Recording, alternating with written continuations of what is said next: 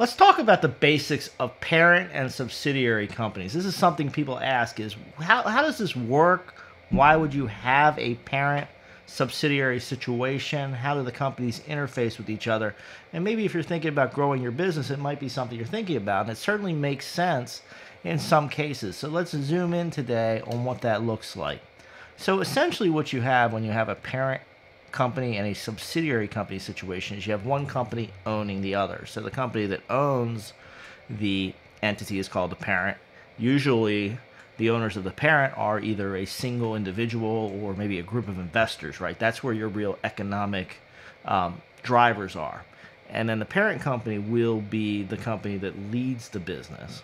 They then, in turn, own the subsidiary. Sometimes it's a 100% ownership Sometimes it's an avenue to bring in other investors.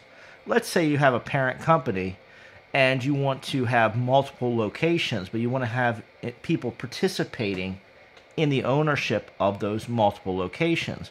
What you could do is set up each location as a subsidiary, a separate LLC or corporation, and have different ownership. Maybe the parent owns 80% and the local person who's running the enterprise owns 20%. We've seen people do that.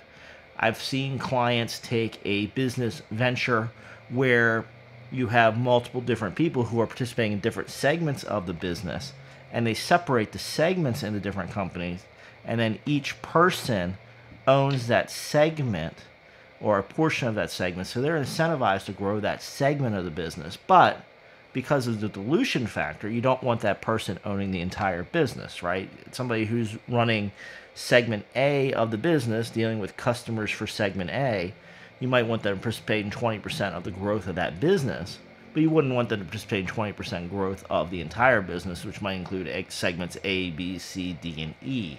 So it's a great way to segment things. Also can be used for liability protection purposes, depending on what you're doing. Uh, the subsidiary, if done properly, should be a separate legal entity, separate from the parent. So you have a potential liability firewall there. If somebody sues the subsidiary, they would be going after the subsidiary's assets. That claim might become a liability of a subsidiary. But the parent may not be liable.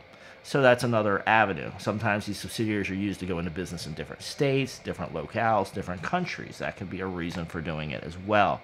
So there's a lot of different avenues. There's a lot of different reasons you would set this up. But a lot of people just wonder why are there parents of subsidiaries? Is it something they might want to consider for their business?